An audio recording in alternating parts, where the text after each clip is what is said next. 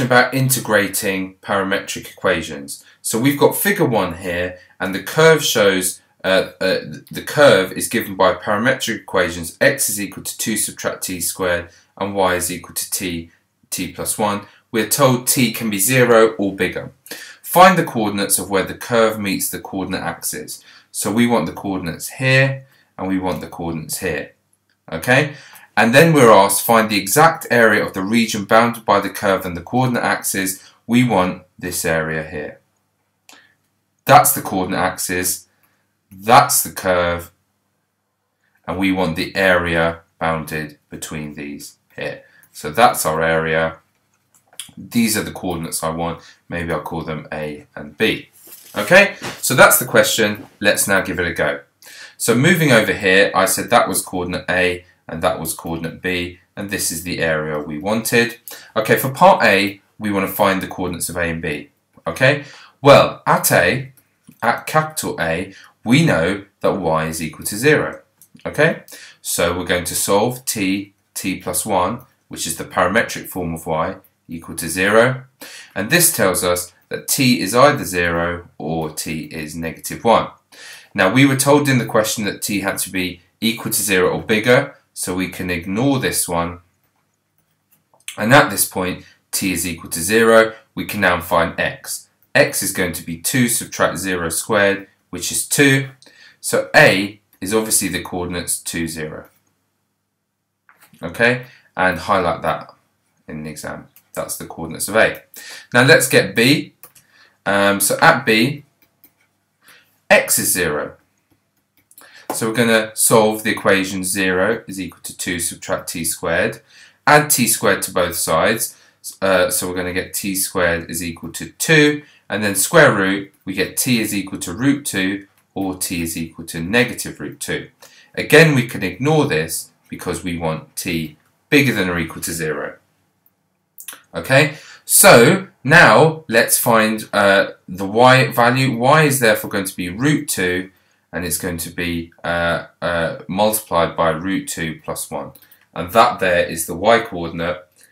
And we could multiply it out if we want. That's going to be root 2 times root 2 is 2 plus root 2. So there's the y coordinate. So the coordinates of b, b is therefore 0 and 2 plus root 2, which we should highlight. Okay, and we've done the first part. So let's just write in here that this is 2, 0, and here is 0, 2 plus root 2. Okay, and we're done for part A for 4 marks. Okay, let's move on to part B. I'm just going to rub this out for now. Uh, let's just remind ourselves what the t values were here, by the way. t was equal to 0 here, and at this point here, we had t is equal to root 2.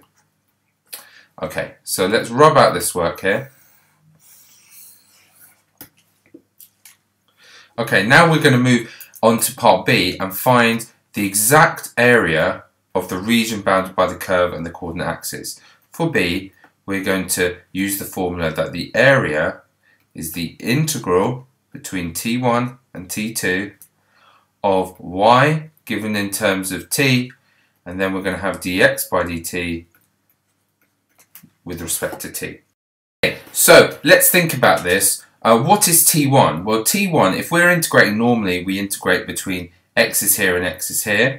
So t1 must be uh, the value of t at this point, which is root 2. t2 must be the value of t at this point, which is going to be equal to 0. So t2 is going to be equal to 0. Because x is 2 subtract t squared, dx by dt is clearly differentiating that as negative 2t. And now we're ready to substitute. So this is the integral. We must make sure we get this the right way between t1, which is root 2, and 0, y in terms of t, which is t, t plus 1, dx by dt, which is negative 2t, and then with respect to t. Okay, now it's time to um, multiply this out.